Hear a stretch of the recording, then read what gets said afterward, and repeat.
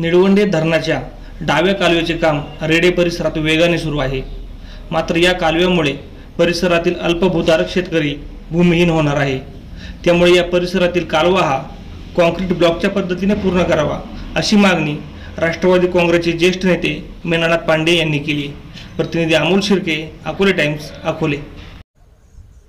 निळवंडे धरणाच्या डाव्या कालव्याच्या किलोमीटर अठरा व मध्ये जे कॉन्क्रीट ब्लॉकचं काम मोजे रेडे या गावी चालू आहे तिथे आपण उभे आहोत. डोंगर उताराच्या क्षेत्र जिथे असतं त्या कालव्याच्या खालच्या भागामध्ये पाणी पाझरू नये आणि कालव्यालासुद्धा धोका होऊ नये. म्हणून कॉन्क्रीट ब्लॉकचे प्रस्ताव अशा तऱ्हेचे जिथे जिथे असतील साईट तिथे कराव्यात. अशी पूर्वीपासूनच आमची मागणी होती. त्याप्रमाणे या ठिकाणी जे काही कॉन्क्रीट ब्लॉकचं माझ्या पाठीमागं जे आहे ते साधारणतः आठशे मीटरचं पाठीमागं कॉन्क्रीट ब्लॉकचं काम या सातारा डोंगराला वळसा मारून आहे. अशाच तऱ्हेचं काम इथून पुढे इथून पुढे सर्वे नंबर अठ्ठावीस आणि किलोमीटर नंबर एकोणीस सर्वे नंबर अठ्ठावीस व बत्तीस असे दोन सर्वे नंबर इथे इथून पुढे आहेत.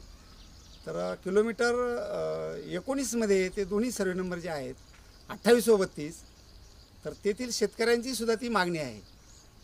पैकी सर्वे नंबर बत्तीसचं भूसंपादन अद्यापर्यंत झालेलं नाही गेली काही वर्षापासून त्याचं भूसंपादन न झाल्यामुळं तिथे काही लगेच इरिगेशन डिपार्टमेंट काम करू शकत नाही. प्रश्न राहिला अठ्ठावीसचा. अठ्ठावीसमध्ये कालव्याच्या खालच्या बाजूला इथे प्रशांत बांधावणे आहे नंतर भास्कर बांधावणे आहे नंतर तानाजी बांधावणे आहे पुढे दत्ता बांधावणे आहे निर्मला बांधावणे आणि आणखीन बाळू का? बाळासाहेब बांधावणे हे सर्व शेतकरी यांची घरं आहेत इथे.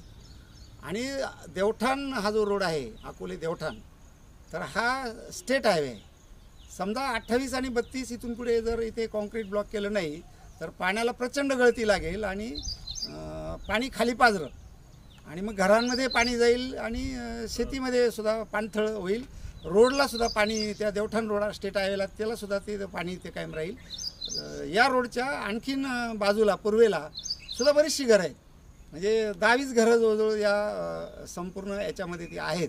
म्हणून आमची मागणी शेतकऱ्यांच्या वतीनं या इथे रेडे इथे अशी आहे की डोंगर उताराच्या क्षेत्रावर कॉन्क्रीट ब्लॉक करावे जेणेकरून पाझर पाण्याचा होणार नाही.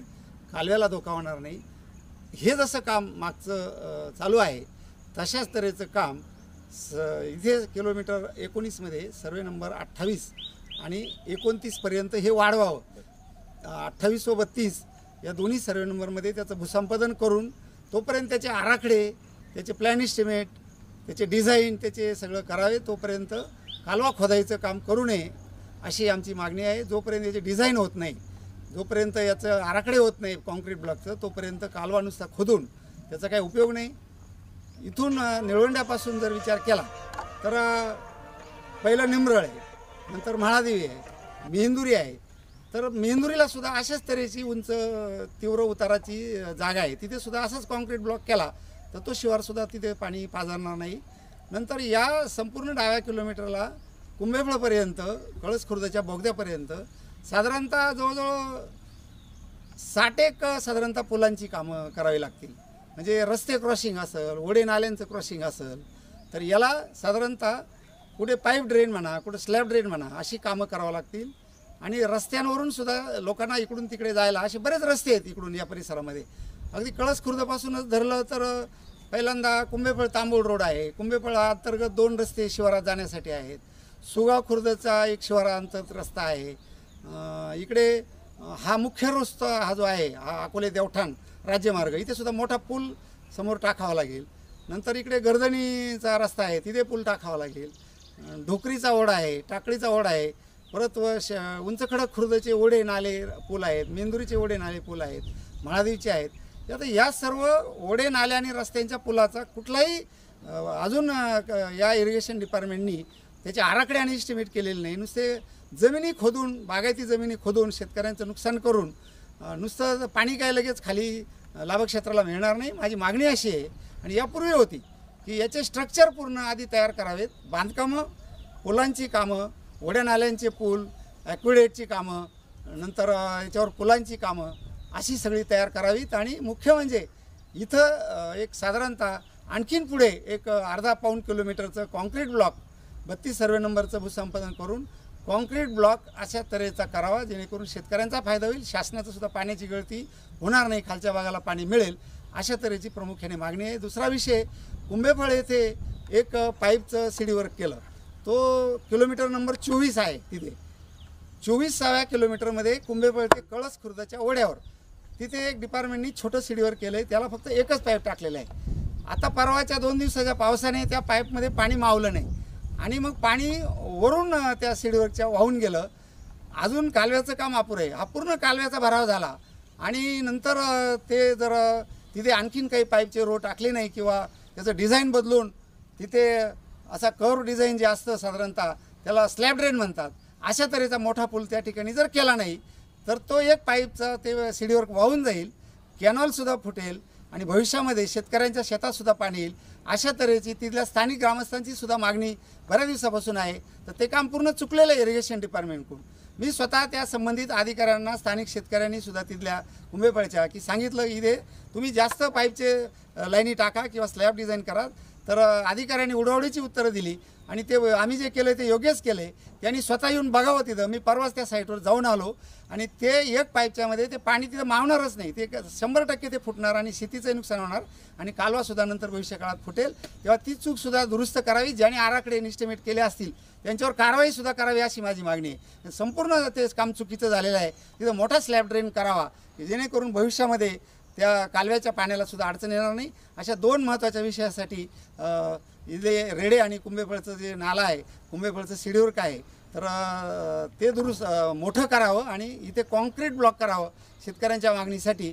एवढ्या मागणीसाठी आम्ही इथे आलो आहे आपल्याला समक्ष इथे माहिती दिली. अधिकाऱ्यांनी जर आमच्या मागणीची दखल घेतली नाही समजा ते सीडीवर्कचं मोठं सीडीवर्क केलं नाही किंवा इथे जर कॉन्क्रीट ब्लॉक केला नाही नंतर उद्या मेंदुरीला सुद्धा तिथे आम्ही जाणार आहोत तिथं शेतकऱ्यांचे निवेदन वगैरे ते घेण्यासाठी. तर तिथे सुद्धा जर ते केलं नाही तर पुन्हा कालव्याची कामं नाईलाजाने शेतकरी जर बंद पाडली त्यांच्या या मागण्या मान्य झाल्या नाही तर त्याला नायलाज होईल. आणि म्हणून शासनाने विशेषतः जलसंपदा खात्याने या गांभीर्याने या दोन तीन मुद्द्यांची दखल घ्यावी. कॉन्क्रीट ब्लॉकचं आणि सीडीवरची कामं पुलांची कामं आधी करावी. आणि जर हे आता केलं नाही पावसाळ्यात कामं बंदच आहेत जर दिवाळीनंतर कामाचा वेग वाढला आणि नुसत्या जमिनी खोदून ठेवल्या. तर हे ओढे नाल्यांचे पूल झाले नाही तर त्याचा काही उपयोग होणार नाही. त्यामुळे ही सगळी उडवडीची उत्तर अधिकाऱ्यांनी देणं बंद करावीत. अगोदर जे सांगितले आम्ही बांधकामं स्ट्रक्चर याची कामं आधी करावी. आणि ती जर हातात घेतली नाही त्याचे प्लॅनिंग इस्टिमेट नाही केले समजा नुसत्या जमिनी खोदायचा धडाका करून जर केलं तर चार पाच वर्षेसुद्धा पाणी खाली लाभ क्षेत्राला मिळणार नाही. आणि अकोले तालुक्यालासुद्धा कालव्यांची संगमनेर तालुक्याला कालव्यांची गरज आहे. आम्हाला कालव्यांची गरजच आहे. कुणी काही म्हणत असेल तरी निळवंड्याचं पाणी हे कालव्याद्वारे शेतीला मिळालं पाहिजे. परंतु हे दोन तीन जे मुद्दे आहेत. त्याचा गांभीर्याने पाटबंधारी खात्याच्या वरिष्ठ अधिकाऱ्यांनी असं नाही करावं. त्यासाठी मी स्वतः शेतकऱ्यांच्या सहाय्यांचं निवेदन जलसंपदा मंत्री नामदार जयंतराव पाटील महसूल मंत्री आमदार बाळासाहेब थोरात यांनासुद्धा कार्यकारी संचालक गोदावरी महामंडळाच्या औरंगाबादचे त्यांनासुद्धा यात्रेच्या या निवेदनाच्या मागण्या आम्ही केलेल्या आहेत. दळवंडे डावा कालव्याचं कॉन्क्रीट ब्लॉकचं काम एक ते अठरा ह्या किलोमीटरमध्ये झालेलं आहे. आणि यापुढे एकोणावीसपासून तर पुढे आम्ही एक अल्पभूधारक शेतकरी या रेडे गावात असून त्या ठिकाणी आमची फक्त घरे बांधण्या इतकीच क्षेत्र शिल्लक आहेत. त्यामुळं यापुढेही शासनाला मी विनंती करतो की यापुढेही एक ते एकोणावीस किलोमीटरच्या पुढचे जे काम आहेत ते कॉन्क्रीटीकरणात घेण्यात यावे. त्यानंतर जे काही डोंगर उतारावरून येणारं जे पाणी आहे ते पाणी पण प्रवाह आणि मुख्य प्रवाहाला जिथं मिळतं त्या ठिकाणी पाईप टाकून ते बंदिस्त करून त्या ठिकाणी सोडण्यात यावं. आणि त्याच्या पुढं एक माझं सर्वे नंबर बत्तीसचं एक भूसंपादन बाकी आहे.